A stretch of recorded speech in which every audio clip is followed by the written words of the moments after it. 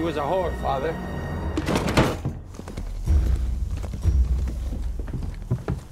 A woman was found killed in town.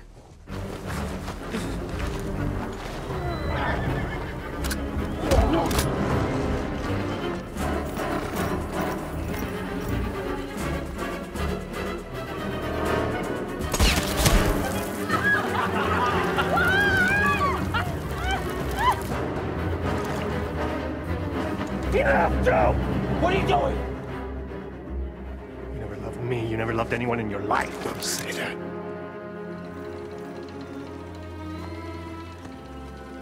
Years ago, you asked me what two men could do living together on a ranch. I'll answer you now.